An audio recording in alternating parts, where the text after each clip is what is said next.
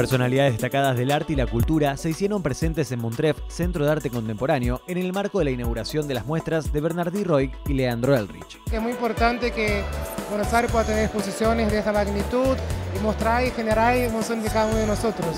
Los artistas los conozco a uno muy bien, que es a Erlich, al otro no tanto, pero sí he visto obra de él. Me, me va a gustar ver la muestra y conocer más. No quise venir al montaje para tener toda la sorpresa yo también. Me parece buenísimo, creo que es un lugar que tiene una luz muy buena, unos espacios increíbles. Todos pasaron por aquí, entonces de algún modo viste que las energías siguen viviendo. Alejandro lo conozco desde chico, así que desde muy joven. Me gusta todo el proceso de él y cómo ha ido evolucionando. Es como un maestro en, en proponer ensoñaciones, ¿no? Los artistas les mostraron sus obras contándoles cómo fue el proceso de su creación. Me encanta como ver todo el proceso, el, como la construcción de cada obra me parece muy bueno. Es maravilloso. Sí.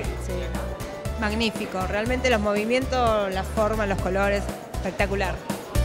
Lo que me sorprendió fue la obra de él en el ascensor, que me pareció muy original, sobre todo tener la indicación de una obra en el ascensor, que no es común. Me encantó el reflejo de, los botes, todo lo que juega con los espejos, así como primera impresión me encantó.